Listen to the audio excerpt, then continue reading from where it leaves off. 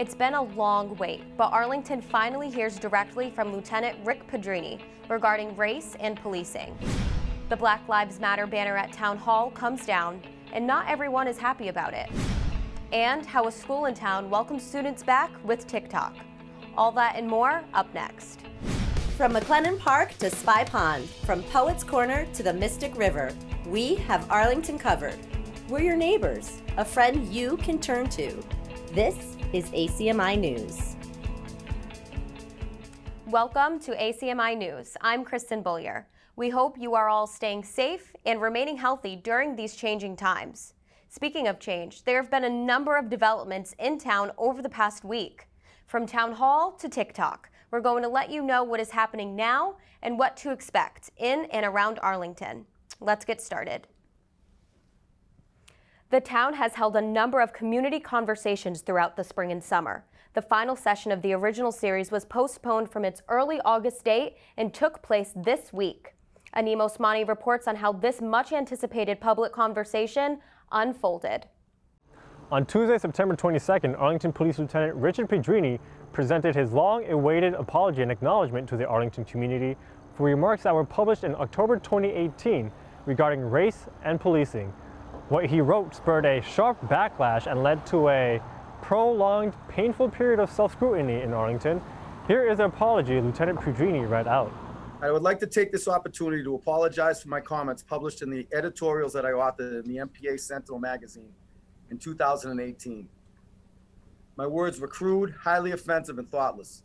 For this, I am truly sorry, and I apologize to everyone that I've offended or hurt in any way with these articles.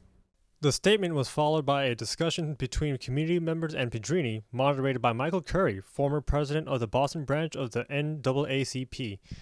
Questions and comments were submitted prior to the session and were addressed live by Curry. Um, I think folks on this call, and this is an important point for you and I to talk about, Lieutenant Pedrini, feel that the statements you made that though may have, they may have been targeted at um, the Gannon or the Chestnut situation were pretty broad.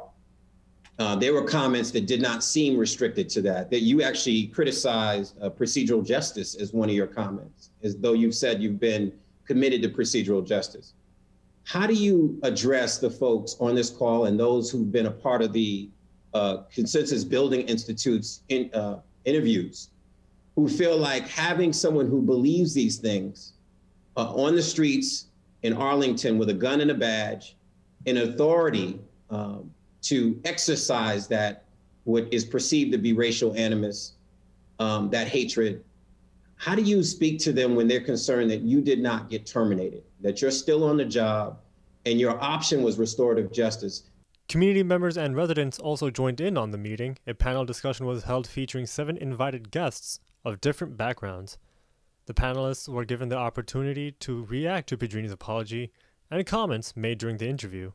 So if it was only two years ago that you realized that, what happened to the your entire life being a police officer? right? Building that trust with the people that live within Arlington, because it wasn't two years ago that Black people arrived in Arlington. The full community conversation with Lieutenant Pedrini is available at arlingtonma.gov slash community conversations, or you can also find it on ACMI's YouTube channel. For ACMI News, I'm Anim Osmani. According to a number of participants and observers, this session pushed this important public conversation forward. While it perhaps brought one chapter to a close, the story will undoubtedly continue to unfold, and ACMI News will be here to chart that progress. The issue of racial injustice remains prominent throughout the country. Here's Anim Osmani's coverage of the recent decision by town authorities to remove the Black Lives Matter banner from Town Hall and the reaction to that move. The Black Lives Matter banner hanging from Town Hall is expected to be replaced at the end of the month following a unanimous decision by the Select Board. What my proposal for the board to consider is, is to remove the banner at the end of September. On September 14th, Town Manager Adam Chapdelaine brought forth a proposal to the Select Board to work with the Arlington Human Rights Commission to replace the banner with a more inclusive message. The proposal came as a result of the competing demonstrations that were held on September 10th which Select Board Vice Chair Joseph Curro believes were connected to mischaracterizations of the BLM banner's meaning.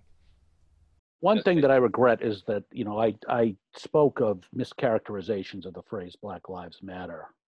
um, being off the mark, and I, I that language is probably a little too soft because um, what really what I think the crux of the issue is a lot of people are hearing Black Lives Matter and somehow they're, they're mentally sticking the word only in front of it. They're building up. One of our one of the people who spoke, um, I, I think it was Todd Beerson spoke during a public comment period the other night, was talking about false dichotomies, and and that creates a false dichotomy. The fact is, all all lives can't matter until Black Lives Matter, and our Black um, residents and, and their ancestors have been suffering systemic racism, enslavement for over 400 years, and, and, and the challenges there are, are unique. Um, so I I regret that I didn't I wasn't more clear in, in my language. Um, At the September 21st Select Board meeting, community members voiced their concerns about the BLM banner replacement with many expressing their strong opposition to taking it down. The rhetoric surrounding the removal of the banner shows that the select board only sought to appear committed to justice when it was a good PR move and not when it was hard work. The board should not remove the banner and should apologize for the harmful and dangerous rhetoric espoused last week. I understand that you plan to hang a different sign espousing our town's beliefs about respect for all. But in my opinion, hanging such a sign is not the same as what the Black Lives Matter sign represents. The meeting opposed the decision to replace the banner. Other Arlingtonians, however, are more supportive of the town's efforts around diversity. But, you know, I think Arlington is doing pretty much the best that they can do um, to promote diversity, actually. It's been a, an objective of Arlington for a long time. And actually, they're doing really well. I think. One Arlingtonian offered his own suggestion for a message that could be posted on top of Town Hall. Hate free, accept, embrace, and love. Simple. As you can tell, emotions continue to run high. This is clearly an issue with no easy resolution, but which nonetheless demands our best efforts. For ACMI News, I'm Anim Osmani. In other news, school has started at Arlington Catholic High School, and with a creative twist. Here's reporter Maxim Isaac with more on how the school is using social media to say, welcome back. Arlington Catholic High School has a distinct way of welcoming back students to the new school year. Last week, students were surprised with a TikTok video with a song you may be familiar with.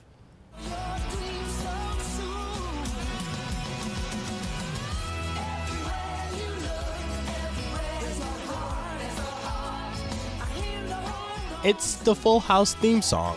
After finishing their first week of classes, students found out their school made their first TikTok video.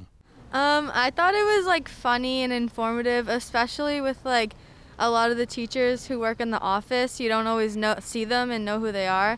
So as a freshman and even like a sophomore, I saw like faces I didn't know, so it was like good for information. Um, I thought it was really good. It was like really well crafted together, and I like how they're staying up to date on social media, like with the student body and everything. And like I think it really helped to get to know the staff, especially if you're like an incoming freshman and you don't know who anything who like anyone is in the like building. It helps to get to know them a lot more. Throughout quarantine, there was a viral trend of videos using the Full House theme song around the country.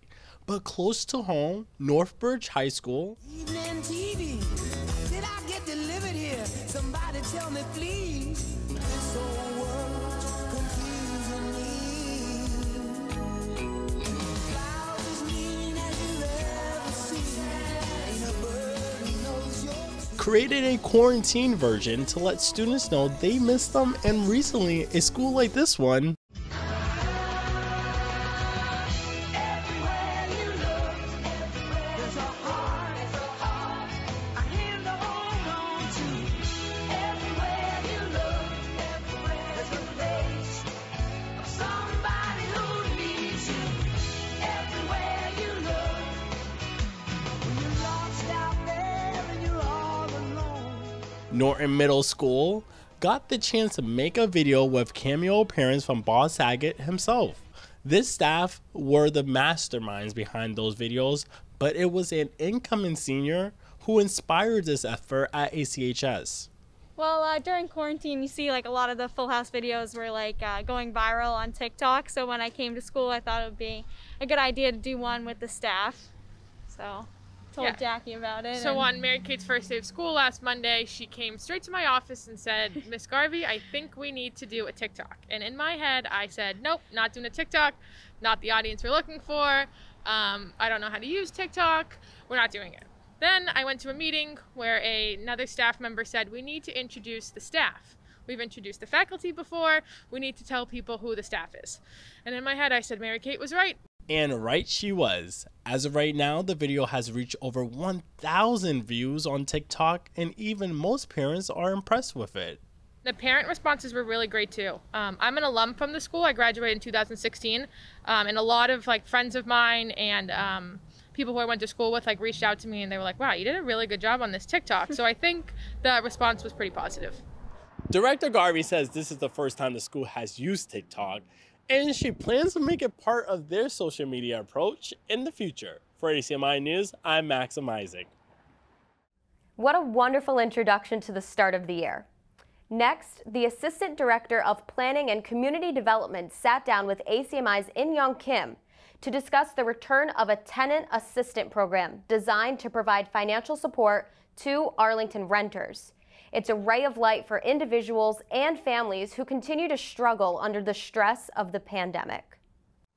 Many residents have financially suffered due to COVID 19. One piece of good news some of those who have been impacted can count on help in paying their rent. The Arlington Emergency Tenant Assistance Program is providing a second round of rental assistance to households. The payment is up to $2,000 per month for three months, and it will be provided directly to landlords. Applicants can qualify if their income is at or below 50% of the area median income. Those who applied for the first round are eligible to reapply. The Department of Planning and Community Development and MCO Housing Services will oversee the application process. Erin Zwirko, Assistant Director Planning and Community Development, is here with more information. Um, so the Arlington Emergency Tenant Assistance Program is funded through a special allocation of community development block grant funds that we received through funded through the CARES Act. Um, so we we allocated four hundred thousand dollars towards tenant assistance. Um, this is the second round that we're offering. Um, so it's a super easy um, application process, and currently the pre-application is open. I asked her how many people applied in the first round of the assistance program. and ultimately we were able to fund 38 households. Um, so at that time, we've expended about uh, $140,000 to help people pay for their rent. Um, so it's very exciting, and um, I hope that we will uh, continue to see the demand and be able to help more households as well as returning applicants uh, in the second round. I also asked what the applicants thought about the program.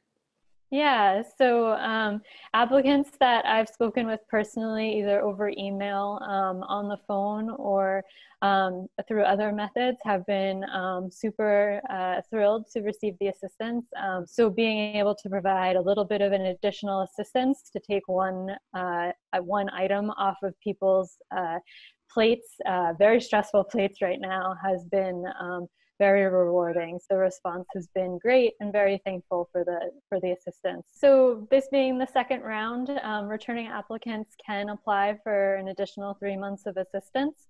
Um, so I would encourage any returning applicants to apply. Um, in this round, we also increased the income limits a little bit. Um, so definitely check that out if you are ineligible um, to receive funding in the first round. Um, you may be eligible at this point. Um, and we anticipate providing future rounds um, either through the funding that we um, received through the CARES Act or through a, a, great allocation that we have received from the Community Preservation Act Committee to supplement the funds that we were able to allocate initially. The deadline for the application is September 30th. For more information, visit arlingtonma.gov slash COVID-19 assistance. For ACMI News, I'm In Kim.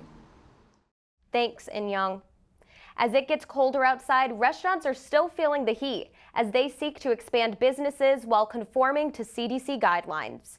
Anim Osmani tells us how one local restaurant is using their eclectic menu and innovative thinking to survive. Although Scutra is one of the most award-winning restaurants in the area, this modern European eatery has had to deal with the same very modern problem as everyone else. Uh, my name is Louis Paparella, and the business is Scutra Restaurant in Arlington, Massachusetts at 92 Summer Street. We've been here for just over 18 years. Started off as just 10 tables and have expanded once, twice, three, four times, which includes our most recent expansion, which is the patio in the back, which overlooks the bike trail. And then a temporary expansion of a tent um, in the front parking lot, which served uh, us tremendously during the COVID crisis. An upscale restaurant, once filled with tables set with beautifully placed napkin folds, polished crystal, and perfectly set silverware, is now barren and that's always fun to have such a, a, a, a nice setting for when a guest comes here because um, they feel good. You know, uh, they, they know that they're coming to a place that's going to uh, be at a higher level than your, you know, your average restaurant. And when I come in here and look at a bare table, um, it's, it's, it's a little sad, but we have to do what we have to do, and that's really the only option we have. And everybody understands, well, uh, most of everybody understands their success prior to their closing kept them afloat just barely. After shuttering their doors for four months, it took a valiant team effort to rebound. Once we, uh, you know, talked to the staff, we got everybody on board, um, which was a very interesting time. It's, uh, it's, it's, it, it's, it's a blessing to have such a wonderful staff that comes back during a time when they haven't been working for so long. Um, and just having that kind of support structure internally made it that much easier for us to rebound, get back on our feet, do what we love to do, do what we do best, and that's provide that premier top quality uh, food and service. The community also played its part in keeping Scutra up and running, but if you haven't been here lately, there are some changes you should expect. You know, the tables now are completely empty, but there's a little scan code in which um, is kind of, you know, I think a majority of the restaurants or, you know, a handful of restaurants are doing right now. It's everything has gone paperless, everything has gone digital. So a guest doesn't have to actually hold on to something, nothing tangible in their hands, nothing physical. Uh, just less contamination and, you know, by by uh, by law or by requirement during this uh, during this pandemic, it's um, single-use paper um, menus only. Um, we do have those available for anyone who doesn't have the, the you know the phone um, uh, that, which you know can scan the code. But when you scan the code, the menu pops up, which is at which is our website, and then you can kind of go through all the different menus we have. The newly installed patios couldn't have come at a better time when outdoor dining is a vital component for the restaurant industry. Additionally, there are added safety measures such as social distancing and face coverings. The manager has one last message for the community. Interview up with just letting everybody know thank you very much for the continued support that you've given us. Um, we couldn't do it without you. And I know that we are the product that we give you, but um, we're happy that, you know, uh, you are enjoying what we do offer and you're coming in and, um, you know, it's our job to keep you happy. It's our job to want you to come back. Scutra Restaurant is open from Tuesdays to Saturdays from 5 p.m. to 9 p.m., 9.30 on Friday and Saturday. For ACMI News, I'm Anim Osmani. I hope you had a delicious meal, Anim. In today's world, it seems like there are so many options to meet people online. From dating apps to social media, it has become pretty easy to make friends or to even fall in love online. But that's for people. What about our canine friends? I stopped by Thorndike Dog Park here in Arlington to see how local dog owners feel about the whole idea of a dating site set up for pets. Have you ever wanted to set up a play date for your pup or wish your furry friend had some friends of their own? Well, now look no further. Pinder, a play on the dating app Tinder, is a place where dog owners can go online and match their pets with some companions of their own. I stopped by Thorndike Dog Park in Arlington to see how local dog owners feel about the whole idea. I don't see anything wrong with it. I think it's definitely nice to make friends with other dog owners and have, you know, little friends that they know that they're good with, that they can interact with on a regular basis. So, for that purpose, um, I think it could Bobby lives in the area and he and his dog Grady stop by the dog park around two times a day. But dogs get nervous making new friends too. With a pet who can sometimes be as shy as Grady, he talks about how a site like Pinder can help relieve some of that stress. Definitely. I think uh, not every dog is suited for the dog park, but sometimes it can be overwhelming. This guy, I think a lot of the dogs but doesn't know how to really play with them. So getting one-on-one time for a play date would be awesome. And then some dogs are aggressive. They're like they're better in a one-on-one situation where there aren't as many triggers as there are at the park. As you can see, this enclosed area of the dog park behind me allows dog owners to come and let their pets off the leash to roam freely. But what happens in the colder months of December and January, where dog owners don't know exactly where to bring their dogs to play? Well, I spoke with the local dog owner on why he feels the idea behind Pinder could be useful during that time. We just got our dog in the past few months, so um, we are a little bit uh, worried about the winter and not really sure what our game plan is. Um, our hope was that we could maybe take her on runs or things like that, but as far as getting her uh, socialization during that time, it's definitely going to be a challenge. And um, yeah, I could see how having some kind of network to to socialize um, or to meet dogs with whom we can socialize her would be would be pretty valuable. The site has features similar to Tinder, such as the personalization of your pet's profile, the swipe right or left to match or not with others, and the ability to view who they matched with. Right now, PinderPets.com is running a Halloween costume contest until October 31st. No human entries allowed. And finally, the debut of a new feature on our newscast. Sydney's Media Moment will provide creative and enlightening glimpses into the world of entertainment, especially the movies. In honor of the recent celebration of Rosh Hashanah, we start with an appreciation of Mel Brooks, arguably our zaniest Jewish film director. Here's ACMI's Sydney Britt. Hello, Arlington. I'm Sydney Britt, and I welcome you to Sydney's Media Moment. Today is September 18th, which means it's the first day of Rosh Hashanah. In honor of the Jewish New Year, I want to celebrate acclaimed Jewish director Mel Brooks.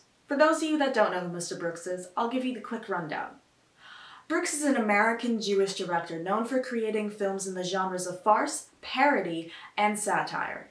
He's also created a number of TV shows, including Get Smart, and a few musical comedies, including The Producers. Throughout the span of his currently 71 year long career, Brooks has created a number of iconic films. Today I want to discuss his three most popular movies Young Frankenstein, Blazing Saddles, and The Producers. Let's start our moment of appreciation with Brooks's brilliant parody, Young Frankenstein. This 1974 comedy, as you could guess, is a direct parody of the 1931 classic creature feature, Frankenstein. It's alive! It's alive! It's alive! This movie follows Dr. Frederick Frankenstein, That's Frankenstein. who has just inherited the estate of his infamous grandfather. After he arrives at the estate, he begins to recreate the experiments of his grandfather, assisted by the hunchbacked Igor, the beautiful Inga, and the crotchety Frau Blucher. Shenanigans ensue when Frankenstein's monster is brought to life. All the while, Frankenstein's fiance is visiting. If you're blue and you don't know where to go to, why don't you go where fashion sits?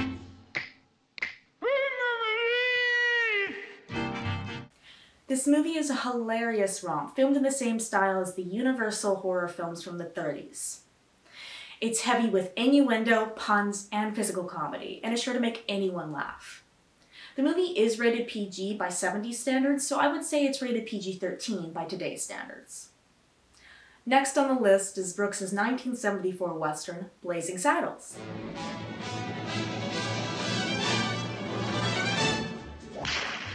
This piece of comedy genius tells the story of a black man named Bart, played by Cleavon Little, who becomes the sheriff of a small town in the West, Rock Ridge.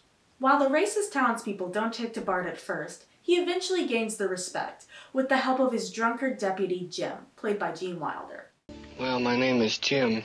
but most people call me Jim.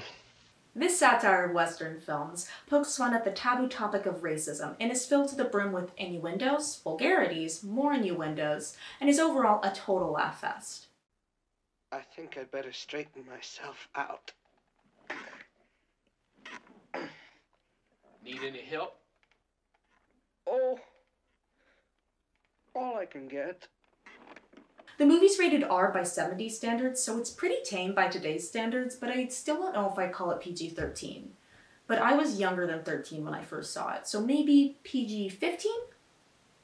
And finally, we have Brooks's 1967 musical comedy, The Producers. This iconic piece of cinema is about Max, played by Zero Mostel, who was once the biggest producer on Broadway, but now has to beg for cash contributions. Desperate for money, Max's new accountant, played by Gene Wilder, offhandedly says that if he were to get investors for a show that totally failed, they'd be able to keep all the extra funds. Uh-huh. Uh-huh. Uh-huh. So in order for this scheme to work, we'd have to find a surefire flop. What scheme? This leads to the production of the worst musical ever, Springtime for Hitler. Well, talk about bad taste. Satirical black comedy was Brooks's directorial debut. It was controversial from the start and received mixed reviews. Despite the initial reception, it won the Academy Award for the Best Original Screenplay, and it's since become a beloved film among consumers and critics alike. Please don't jump on me. I'm not gonna jump. The movie's rated PG by 60 standards, so I'd say it's at least PG 13 by today's standards. And that is the end of our list. Some quick honorable mentions include Spaceballs, Robin Hood Men in Tights, and I'll add in The Elephant Man, which Brooks secretly helped produce. I hope you have a wonderful Rosh Hashanah, and if you're blanking on ways to celebrate, put on a Mel Brooks film and enjoy the absurdity. That will do it for this week's newscast. We're very glad you could join us, and we invite you to sample more news programming and other great content on our website at acmi.tv. For ACMI News, I'm Kristen Bullier. You can always check out our latest segments and newscasts on the web at acmi.tv/news. And don't forget to like us on Facebook and follow us on Twitter and Instagram at ACMI News. Make sure to subscribe to our YouTube channel as well. You'll find us at youtube.com slash ACMI News. If you have any news tips for us or wish to become a citizen journalist, we'd love to hear from you. Email us at news at acmi.tv or stop by ACMI Studio A at 85 Park Avenue.